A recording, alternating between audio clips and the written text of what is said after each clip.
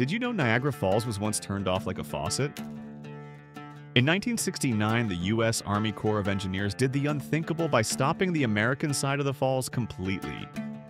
Why? Because the rock face was crumbling and engineers feared a catastrophic collapse. Ralph Hennessy led the effort, building a 600 foot dam to divert 75,000 gallons per second. Once the water stopped, the riverbed revealed something eerie two sets of human remains and a mountain of trash. Engineers studied the exposed cliff, hoping to stabilize the eroding wall with anchors and concrete.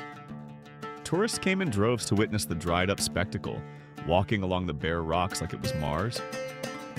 But the project did not lead to permanent changes. The falls were turned back on five months later. And the idea of shutting them down again has never been seriously considered. Some forces of nature are not meant to be paused. Subscribe for more forgotten feats and engineering oddities.